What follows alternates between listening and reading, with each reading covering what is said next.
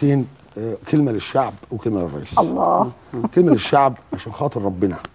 لا تبرئوا أنفسكم من كل ما تنتقدوا ده صح. بالظبط. كلمة عشان خاطر للرئيس. ربنا. كلمة للرئيس. حضراتكم اللي أنا منكم طبعا إحنا الكلام اللي اتقال من شوية مسؤولية عظمى. بجانب مسؤوليات الآخرين عما يحدث في البلد. قد تكون تاريخية ما اشتغلناش في يوم من الأيام اتعودنا على كده طنشنا بقينا جزء آه، من آه، ماكينة آه. لخبطة فلنتحمل. جميعاً. فأرجو بس عشان ما يبقاش فيه في النهاية حد مسؤول وحد مش مسؤول كلمة للرئيس. الرئيس أرجو أنت المسؤول قدام الناس والمغنم والمغرم عليك والناس ما تعرفش الحكومة الحكومة ما انتخبتش ما جاتش.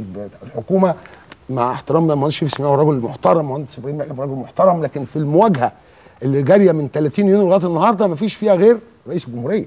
بيمثل نظام بكامله.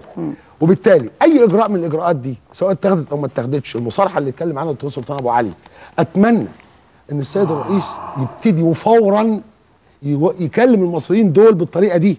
بما فيها الصدمة اللي هتحصل حتى لو قال أنا مخالفة لرأي الدكتور هعوم الجنيه. حتى لو حصل ده الرئيس يطلع والرئيس يقول ده للمصريين ما يتركش الأمر إجراءات تتخذ بلا كلام السياسة في الأصل كلام قبل ما تبقى إجراء وإذا خدت إجراء من غير كلام كأنك ما مش عملتوش مهم أو إنك تكون صح. والناس مش مقتنعة. إنك صح هيبقى. في كارثة لازم تكون صح والناس